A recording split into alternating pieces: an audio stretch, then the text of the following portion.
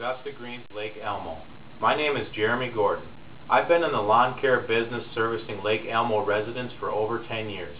Here at Augusta Greens, we are a full-service lawn care provider that specializes in lawn mowing, spring and fall cleanups, fertilization and weed control, aeration, dethatching, tree and shrub services, as well as irrigation installation and maintenance, and landscaping.